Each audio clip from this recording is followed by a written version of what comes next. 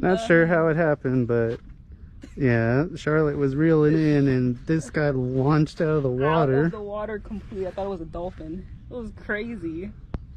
Long nose came out the player, starting to lose hope for the day. Oh lordy. I guess I gotta take him so I can release him. Yeah. That's a heavy boy. That's your biggest gar, easily. TV.